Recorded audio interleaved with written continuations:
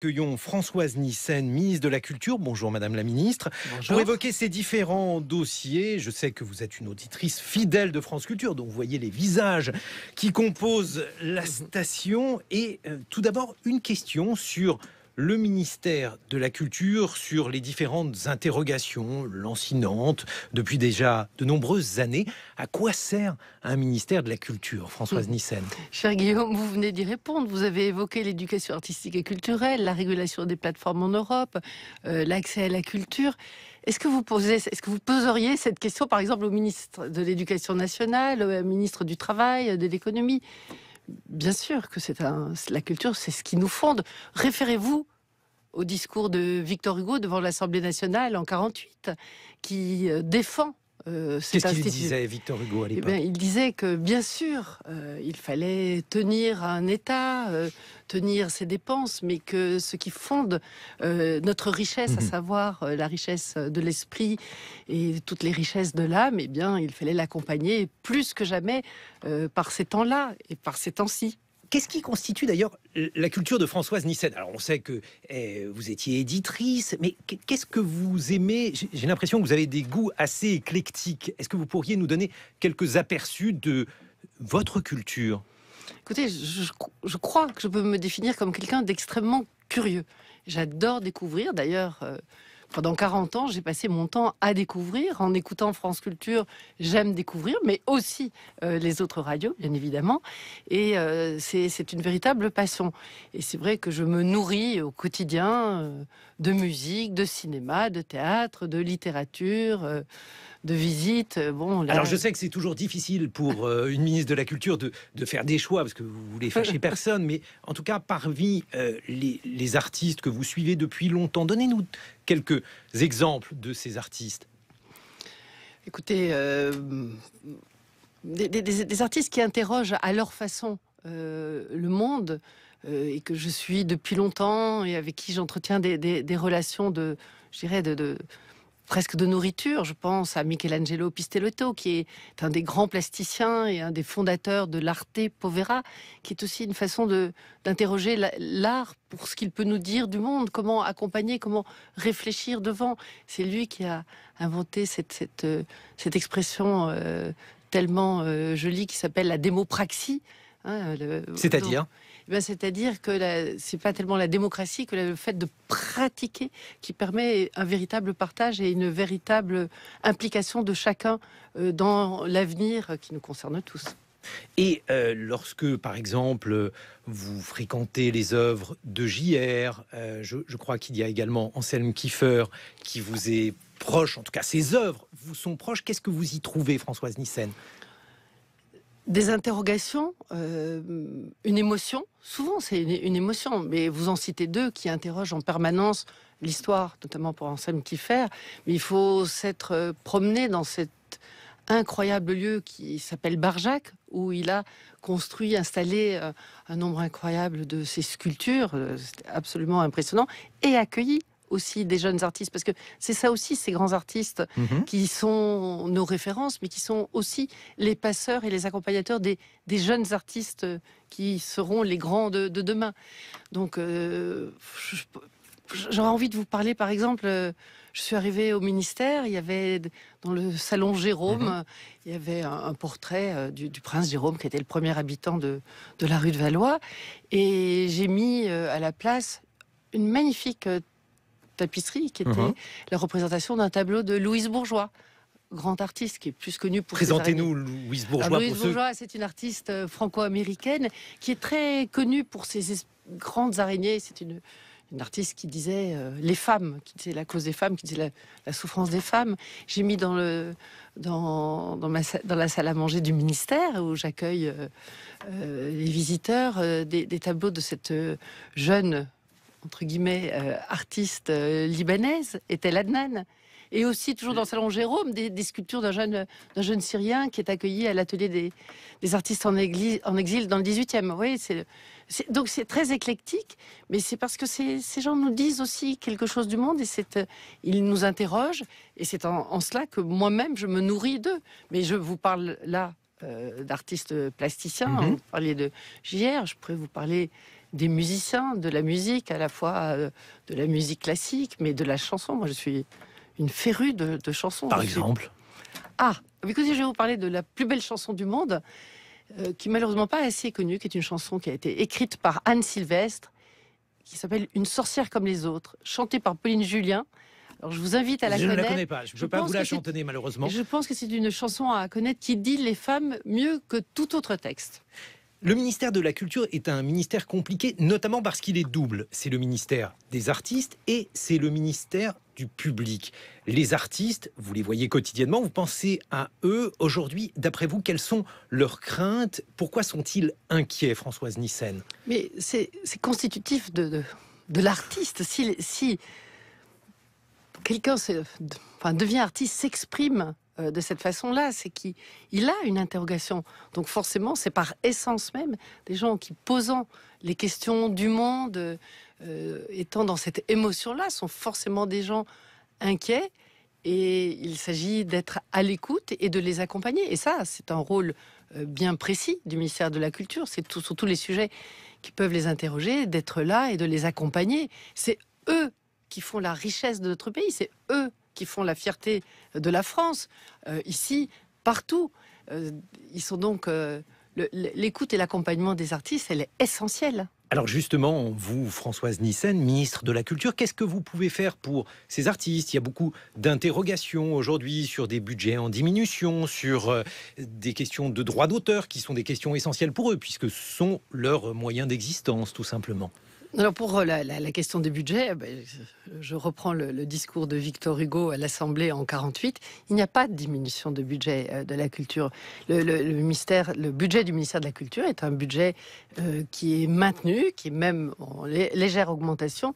Donc il ne s'agit pas de cela. Et puis le ministère de la Culture, ce n'est pas qu'un budget. Ce sont des équipes, c'est des politiques, c'est une façon d'accompagner et ces artistes et de faire en sorte que la culture soit accessible, parce que c'est ça la grande question aujourd'hui de la culture. La culture, c'est ce qui nous fonde, mais c'est ce qui aussi peut séparer. Il y a quand même toute une partie de la population qui n'a pas accès pour toutes sortes de raisons ou qui dit la culture, c'est pas pour moi, c'est pour les autres. Mais alors, justement, avant de parler du public, il y a quand même beaucoup d'artistes, Françoise Nissen, qui disent bon, la culture, c'est une coterie. Il y a l'art euh, officiel, celui qui est légitime, puis il y a l'art des marges, qui lui n'est pas reconnu. Est-ce qu'il y a eh, un certain nombre de politiques qui peuvent être menées pour euh, ces arts-là, qui ne sont pas forcément des arts reconnus? Alors le ministère de la Culture est attentif à toute forme euh, d'expression et elles sont euh, multiples. Alors vous parlez des, auteurs, ils ont toujours été, écoutez, j'ai passé 40 ans à accompagner, 40 euh, années de ma vie à accompagner des auteurs. À accompagner des auteurs, à accompagner des musiciens, parce que pendant le, mhm. même temps, j'ai organisé des concerts, j'ai des lectures, donc je, je suis dans, cette attention, je dirais, viscérale aux, aux créateurs, et c'est eux qui font la richesse de ce monde et qui nous transmettent la culture. Donc euh, évidemment, il s'agit d'être attentif à tous leurs modes d'expression.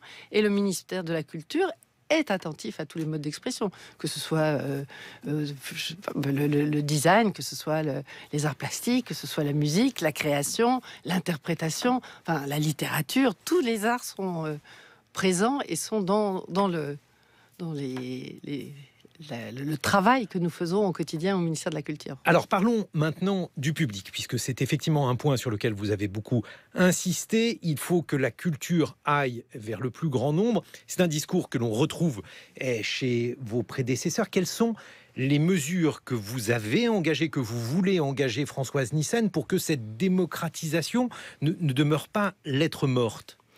Oui, euh, c'est une grande question. repartons au constat. Aujourd'hui, c'est vrai que la France rayonne et riche de sa culture grâce à ses artistes, euh, rappelons-le, toujours. Mais pour autant, c'est vrai que toute une partie, il y a une fracture, il y a des populations entières qui n'ont pas accès, il y a tout un pan euh, du public qui dit euh, non, c'est pas pour moi, ça me concerne pas. Ça peut créer aussi, je veux dire d'une certaine façon, la, culture peut rassembler, peut être ensemble, écouter un concert, euh, mhm. écouter euh, ensemble France Culture, aller voir une exposition ensemble, et puis il y a ceux qui n'y vont pas. Et c'est vrai qu'il y a cette fracture, elle existe, et donc c'est le principal, la principale attention que que nous portons, c'est de travailler, de voir comment faire pour que cette fracture n'existe plus.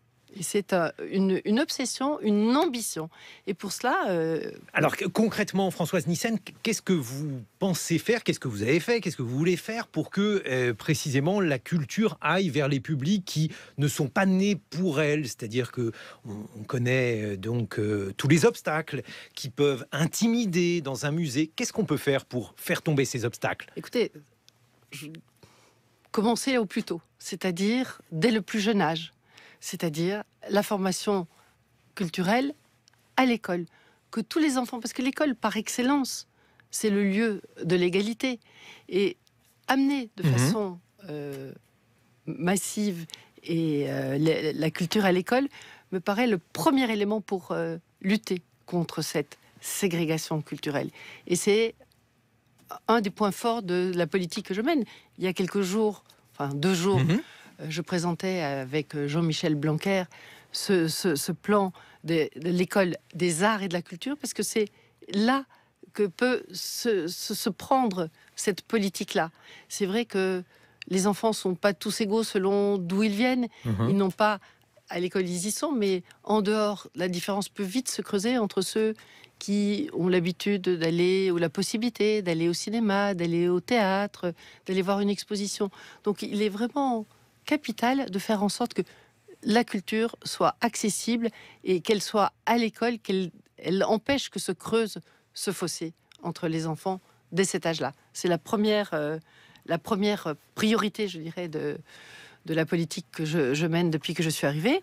Et la, deuxième, c'est évidemment de faire en sorte que cette culture soit partout accessible. Et donc, c'est les territoires. Alors justement, c'est la proximité. Comment faire pour euh, donc euh, se mettre à la portée donc de tous dans ces territoires euh, des pièces, des œuvres qui généralement sont réservées à des métropoles? Est-ce qu'il y a une possibilité concrète? Il y a eu un certain nombre d'expérimentations. Que souhaitez-vous faire, François Alors là, sujet? Il y, a plein de champs sur lesquels on peut travailler et sur lesquels nous avons déjà déployé des politiques. Je peux euh, citer celle sur le patrimoine, par exemple, puisque on, sort des journées européennes du patrimoine, qui est une véritable passion euh, française. 12 hein. millions de personnes qui, euh, qui vont voir le patrimoine près de chez eux ou qui viennent visiter des lieux qu'ils n'ont pas l'habitude de visiter. Par exemple, rien que rue de Valois, c'est plus de 10 000 personnes hein, qui viennent visiter les bureaux de, la République. Bon, voilà, ça c'est une, une façon de travailler sur euh, la, culture euh, mhm. de, proximité. Mhm. Et euh, l'autre l'autre axe sur lequel on a travaillé sont les bibliothèques. à peine arrivé, j'ai décidé de confier une mission à ce passionné de lecture qui est Eric Orsona pour développer et déployer un plan qui facilite encore plus l'accès, l'ouverture aux bibliothèques pour euh, l'ensemble de la population. Alors justement, ce plan, il en est où? Puisque bien souvent, les médiathèques, les bibliothèques sont fermées le week-end ou en tout cas le dimanche. Est-ce qu'il y a une possibilité? On sait que bon, cela passe par un certain nombre de négociations. Françoise Nissen, où en êtes-vous à cet égard? Alors, le, plan est en route puisque Eric Arsenault nous a remis euh, en février euh, de cette année euh, des, propositions et je dirais un rapport très, très étayé sur l'importance mhm. euh, de ces maisons de services publics culturels. Je dirais, il y en a 16 000 en France, c'est énorme. Le, territoire est maillé euh, par ces lieux qui sont des lieux d'accueil. Et effectivement, il s'agit que ces lieux d'accueil soient accueillants aux heures où les, on peut les fréquenter. donc il y a tout un, travail sur les bibliothèques. Mais comme on parlait de, de la proximité et de l'accès aussi, c'est ce plan qu'on a déployé qui s'appelle La culture près de chez vous, où euh, on, propose et on demande aux artistes qui le font mhm. euh, déjà euh, de façon assez systématique, mais on, généralise en fait. Le ministre de la Culture fait de, écrit fait un peu le chef d'orchestre et euh, l'effet de levier par rapport à toutes ces politiques qui, existent, mais qu'il s'agit de déployer et d'organiser de façon euh, euh, cohérente. Donc des, artistes sur les, routes pour aller au plus près des gens, des œuvres aussi. Pourquoi des, œuvres ne seraient accessibles que pour ceux qui peuvent venir par exemple dans la capitale. Alors, si on résume votre politique, Françoise Nissen, pendant très longtemps, on a été dans le domaine du ministère de la Culture dans le développement de l'offre, autrement dit du côté des artistes. Vous, vous souhaitez passer du côté de la demande en étant eh, du côté des publics et notamment en prenant un public jeune. Parce que, en fait, euh, il y a un certain nombre de, sociologues, il n'y a pas que des artistes dans la vie, Françoise Nissen, il y a aussi des sociologues, des sociologues de l'art. Et eux pensent que si l'on multiplie eh, les contacts entre l'art au plus jeune âge, notamment auprès des publics qui n'ont pas dans leur famille des gens cultivés, eh bien on peut faire en sorte que l'art se diffuse parmi tous, ou en tout cas auprès du plus grand nombre. Est-ce que c'est ça finalement ce que vous avez essayé de faire, ce que vous nous expliquez sur les médiathèques, sur l'éducation artistique et culturelle? Alors, ça, c'est la, culture près de chez vous, la proximité. Euh, en, cela aussi, euh, tout ce qui se fait au niveau de la proximité dans l'audiovisuel public. la notion de proximité, c'est vraiment euh, un axe fort de la politique que je mène. Mais la culture à l'école, dès le plus jeune âge, c'est d'une certaine façon ce qu'on pourrait dire la confrontation sensible. On est culture, c'est ce qui nous fonde.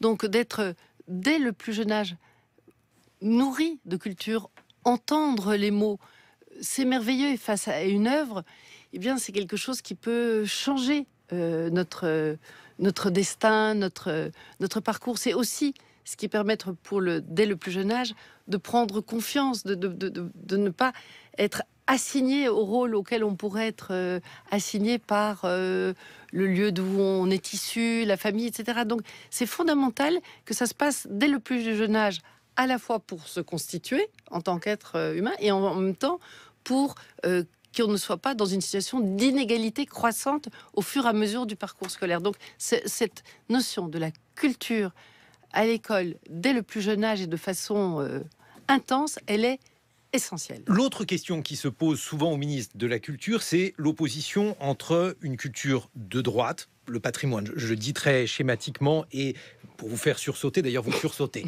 euh, et une culture de gauche qui, elle, serait plus constituée de choses abstraites, euh, avec euh, parfois aussi toute une dimension provocatrice. Comment vous opérez ce choix, puisque vous n'avez pas l'air de vouloir accepter ce clivage? Mais définitivement fonctionner en compartimentage, en silo, ça n'a aucun sens. Et vous parlez de politique patrimoniale, de plus en plus, eh bien, euh, les, grands lieux patrimoniaux sont habités aussi par des créations d'artistes. Les choses se mélangent et donc il n'y a absolument pas à faire euh, d'un côté cette culture qui serait dite de gauche par rapport à une culture de droite qui serait le patrimoine. Les Français sont extrêmement fiers de leur patrimoine. Ils ont à cœur.